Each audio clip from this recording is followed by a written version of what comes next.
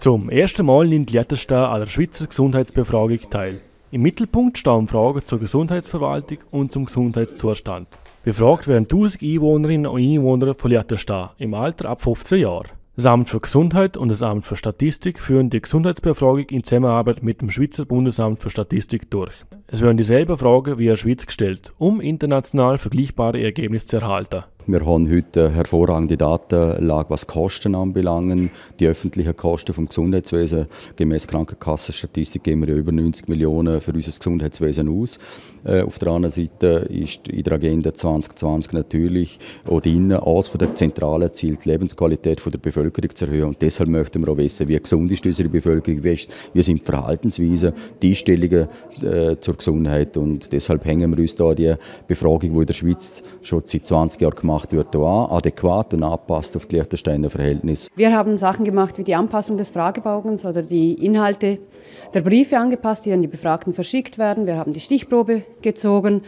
Und wir werden die Ergebnisse dann publizieren. Und auf der Seite des Bundesamtes für Statistik ähm, wird die ganze die große Erhebung geplant, weil sie auch in der Schweiz durchgeführt wird.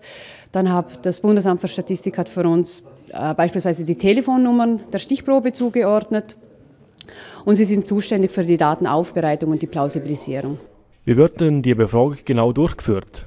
Die Befragung ist einerseits telefonisch, das wird ungefähr 30 Minuten dauern und äh, dann gibt es noch einen schriftlichen Fragebogen, der einen Zeitaufwand von ca. 20 Minuten. Es ist uns bewusst, dass äh, es einen sehr großen Aufwand ist für die Befragten, aber es ist wirklich, es werden sehr viele Themenbereiche abgedeckt, sodass die Informationen wirklich auch wertvoll sind für uns. Von dem her sind wir froh, wenn die Leute mitmachen.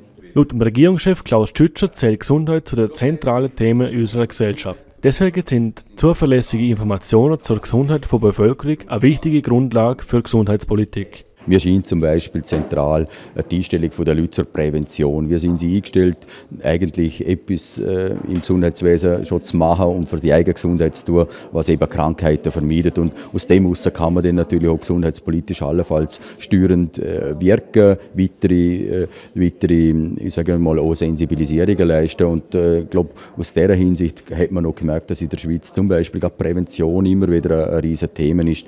Bei uns geht es jetzt vor allem auch darum, dass man das was wir ja bislang beobachten, was wir sehen, um mit reellen Zahlen zu untermauern.